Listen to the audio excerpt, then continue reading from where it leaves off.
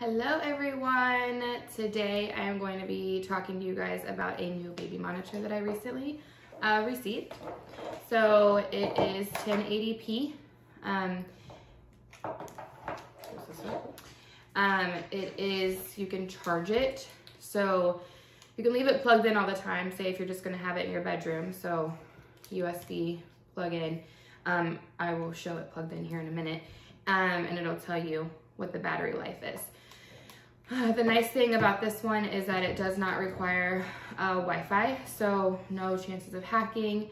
Um, it does have a 355 degree span and 55 degree tilt um, on the camera. So as you can see, it moves up and down. It's like straight up, straight down, and then you can turn it however you want it. Um, it does just sit. Again, I will be demonstrating this um, here in a little bit. Um, it features the turn on button. You can do different sounds, lullabies. Uh, it's got a two-way speaker so you can actually speak to whoever might be in the room. Um, this is a good camera. It could be a nanny cam. It could be a baby monitor. Um, I'm going to uh, show you guys it in my uh, living room because that's where we spend most of our time. So it'll be nice to have the camera in the living room and if I'm in the kitchen or I have to go to the bathroom or something, I can still keep an eye on the little one. Um, you can span it from left to right. Again, I will show you these functions once it is turned on. Um, and then it does come with the manual just in case you need it. Um, it is 1080p video baby monitor display. Um, it is a five inch screen. Um, like I said, no programs to download. You just carry this with you. Um, and they do obviously talk to each other. The antenna there and the antenna there. Another neat feature about this is that it does feature a 110 degree wide angle um, and then you can do two times the zoom. So the Vox mode also allows, um, it will alert you when your baby cries, when there's um, unexpected movement or any noise in the baby's room. Another neat feature is that it does have a speaker button, so it kind of acts as like a walkie-talkie. So if your child is older or your baby is crying, you can always hit the speaker button. You can kind of two-way talk to your child to calm them down. Um, and then also, um, it does come with a one-year warranty. All right, so now I am going to show you guys this um, baby monitor in action. Okay, so we would start with um, holding down the power button for about three seconds and it will turn on and takes a minute to boot up.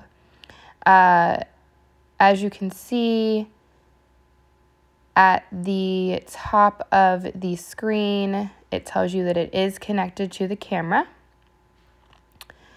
Um, and then it has the volume uh, display up top. Um, it has the degrees, it also has the time, and then the battery power. So if you press that top left button, that controls the volume. So you can turn it all the way down, you can turn it all the way up, uh, whatever you need. And then if you go up and down, that's going to control the brightness.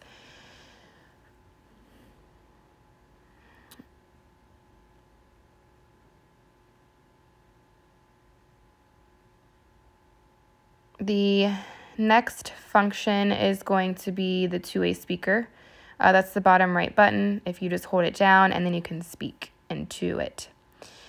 This one is just going to be your menu. So you have the first one, which is the uh, lullabies. And then the second one is going to tell you the voice detection. And then you can also um, set temperature parameters to alert you if it goes too high or too low. And then it has an automatic shut off um, and then you also notice that you can turn it on um, so that it'll be triggered and alert you if there is movement in the room. So if the baby starts to cry or if, um, you know, someone walks into the room, it's going to tell you that someone is in the room. So you can go and toggle between on and off.